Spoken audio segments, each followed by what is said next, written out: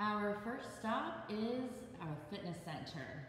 This is open for our residents 24 hours a day.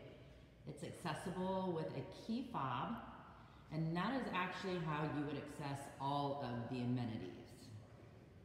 Got a huge area that we use for yoga.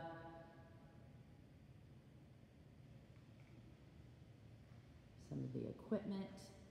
We go into our cardio equipment. We have two rowing machines, the treadmills. And now we're looking at our package concierge. And this is actually a way that residents can get packages uh, from UPS, FedEx, Amazon.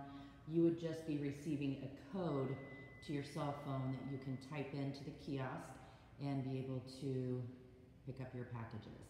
And again, that is available 24 hours. Our dry cleaning service is also available. You would simply just drop off the clothes, um, dial the code, and then you would be able to pick them up when they're ready.